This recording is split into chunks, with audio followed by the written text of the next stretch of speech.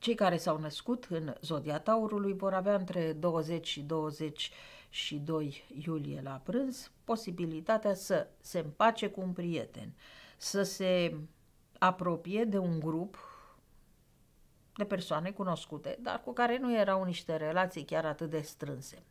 Acum se petrece ceva, se înnoadă mai um, bine relația, se cunosc mai îndeaproape, se simpatizează, încep să proiecteze încredere într-una sau alta dintre persoanele din anturaj.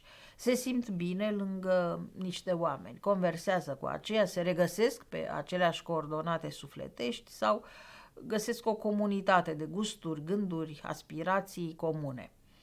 În principal, divertismentul joacă un rol important, mai puțin cooperarea, munca și activitățile cu grad de responsabilitate sporit. Adică um, este momentul în care aceste prietenii pot să fie temporare sau de conjunctură, să-și facă o vacanță împreună, să um, petreacă niște serii împreună, să se întâlnească, să joace, nu știu, tenis, să facă o excursie de niște zile. Toate acestea sunt plăceri efemere, trecătoare, deloc vinovate, doar că ele nu sunt de natură să consolideze pe termen lung o relație interumană. Acest efemer nu trebuie judecat și nici condamnat.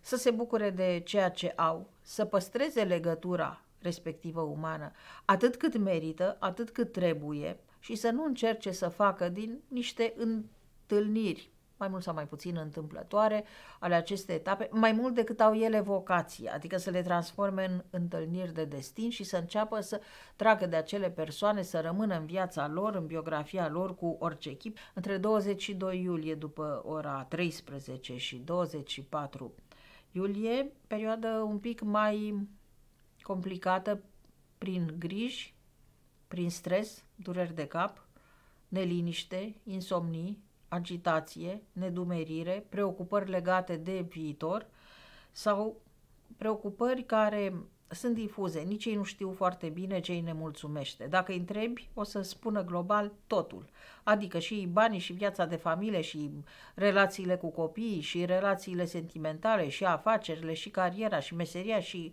călătoriile pentru ei acum toate au câte un uh, dar și un dar dacă. Toate au câte o pricină. Niciuna nu funcționează perfect. Acestea sunt și laturile subiective ale momentului. Din păcate, nu pot să extragă vreo idee clară în această perioadă. Această oportunitate se va contura doar pentru aspectele casnice, domestice și familiale, începând cu 23 iulie, când în sectorul casei a patra își va începe tranzitul soarele și până pe 23 august le va da acestor uh, persoane posibilitatea să ia aminte la ceva, să țină cont de ceva, să ia în considerare un anume aspect, un cuvânt, o afirmație, o dorință, un avertisment, o interdicție, o imposibilitate sau, din potrivă, o oportunitate.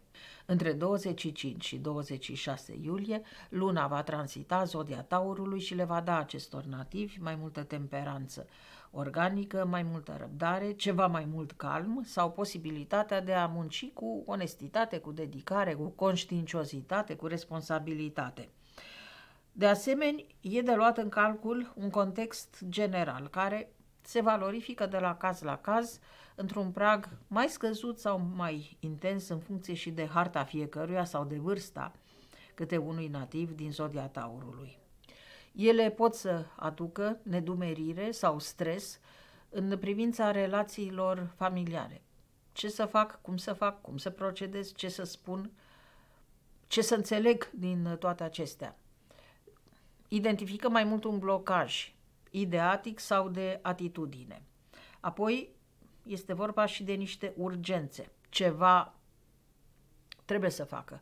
Nu pot să stea liniștiți ca niște spectatori neutri în fața unor evenimente care se petrec în familie. Nu pot să rămână indiferenți față de ceea ce se întâmplă în gospodăria lor sau față de o serie de provocări care vin din afară și îi pun în situația de a decide, de a da un răspuns.